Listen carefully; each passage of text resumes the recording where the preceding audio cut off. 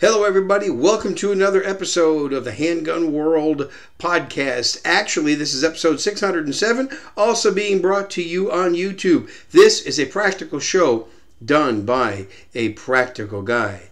That is me. So this week, I got something pretty interesting to talk about an experience that happened to me over the weekend on lots of malfunctions on my gun. I'm going to be talking about that in just a minute. This show is brought to you by Keepers Concealment. If you are in the market for a really good appendix carry holster, these are some of the best. Keepers Concealment, they have a nice wedge design to help hold this into your body. And this one here is for my for a Glock 19 and my Shadow Systems MR920 fits into it just fine. Check them out, keepersconcealment.com. And because you are a listener and a viewer here, you get a 10% discount on their holsters just by using the coupon code Handgun World. One word that is Handgun World. I'll put that also in the notes below this video and below this podcast link. So I shot IDPA on Saturday. International Defensive Pistol Association. I shot this gun, my Shadow Systems MR920 for those of you watching it on YouTube. This is the Elite, the MR920 Elite. Uh, excellent gun, but there are some challenges here, and it's not the gun's fault. It's my fault, the user, and I'm going to talk about what happened here. And it's all about magazines. Magazines make a huge difference, and choosing the right magazines makes a big difference. Now, I'm kind of stubborn, and I did not listen. And Shadow Systems recommends these, uh, let me find it, here it is, these Magpul magazines that come with the pistol. You get two of these when you buy the gun. They recommend these magazines for this gun. For those of you watching on YouTube, you can see that. Now, I didn't listen. So what did I do? I shot the IDPA match with Glock magazines and really old Glock magazines. These things are about 16 years old, and I've never cleaned them. I've never maintained them. I just wanted to see, you know, I wanted to see how long these magazines would actually last. So let me tell you the backstory. I got these uh, in 2006, 16 years ago, from my Glock, my third generation Glock 19. I bought, I think I bought a whole bunch of them on sale like about 10 of them or 12 of them on sale at a gun show. And I've been purposely doing this. I've been purposely putting these in my training rotation, and it's been 16 years now. And I wanted to see how long they would last. I've got four of them like this, and I got the Pearce base pads. And if you can see, I even I stippled the base pads. Kind of hard to to see this here on camera, but I did stipple those base pads. These are the Pearce grip. I think uh, these do not add any rounds. This is the plus zero, but what it did is it gives a place for my pinky to rest when I was shooting a Glock 19. Actually, for my my weak hand pinky, and I, I liked that. Okay, so these made it into my carry rotation. Well, when I went to shoot IDPA last weekend, you see this uh, MR920 Shadow Systems? I put in the supplied magwell. See the magwell right here? Okay, I put that on. That comes with the gun. That's one of the cool things is Shadow Systems gives you a magwell. A nice magwell. A magwell that actually helps get a better grip on the gun and it, and it aids in the reloads. Well, there's a problem. And I didn't realize it right away, but every time I was shooting, I'd shoot about two rounds and the magazine would just drop right out of the gun like that. And I'd fix the malfunction, shoot another two or three rounds, and the magazine would fall out again.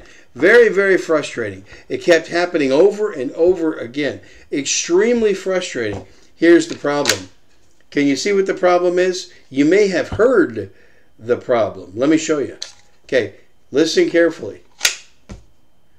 I don't know if you heard it, but now compare that to the Magpul magazine.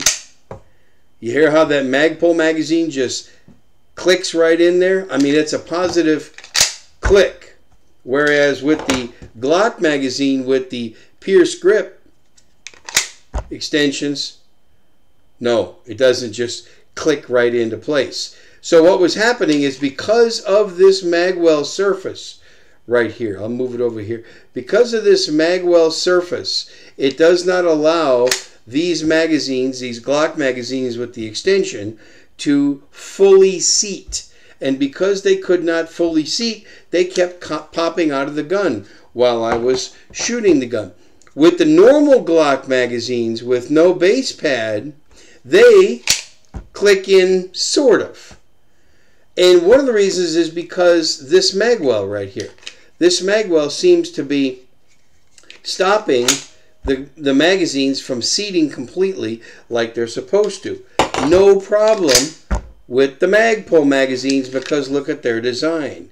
They're designed, they have a base pad that is just perfect for inserting into this pistol with the magwell. So beware. One of the problems with a magwell is you got to make sure that you're using base pads on your magazines that have enough of a lip right here. Have enough of a lip so that everything can clear the magwell. See, that's a perfect fit. So what I noticed is as soon as I switched over to these magazines, I had no malfunctions. As soon as I switched over to the Magpul magazines, I'm going to be buying a lot more of these Magpuls. I only have four of these, and I have two Shadow Systems guns. So, what am I going to be doing? Placing an order for probably four or five more of these for the MR920 and another four or five magazines for the DR920. That's going to give me a good supply of magazines. This is also very important in self defense. You know, the last thing that you want when you're defending yourself is to press the trigger and the mag pops out. Okay? And you got a single shot pistol bad, bad stuff. So beware. I've heard people say, well, the magazine's rarely ever the problem with a, um, with a semi-automatic gun. The answer, yes and no. Uh, a very well-known trainer in the industry recently put out, I saw a Facebook post, and he said, well, very seldom are your magazines the cause of a malfunction. I would have to disagree. I would have to say it's probably more often than you think. But this time it was user error, but it was user error regarding the magazines. Be careful of the base plates that you're using when you're using a magwell. If you don't get that real good snap into place like that, then you could be actually causing malfunctions. So, now, also, it has to do with the fact that these are 16 years old, never been cleaned, never been maintained. I have not changed the spring. It's I've probably put an insane amount of rounds through these Glock 19 magazines. I got four of them like this. I'll bet I've probably put, you know, maybe 10,000 rounds through each of these magazines. Uh, okay, let's let's shrink that down probably to 8,000 in about the last 16 years. Okay? Uh, and they've been thrown in the dirt, they've been thrown in the mud. I've gone through numerous training classes with these.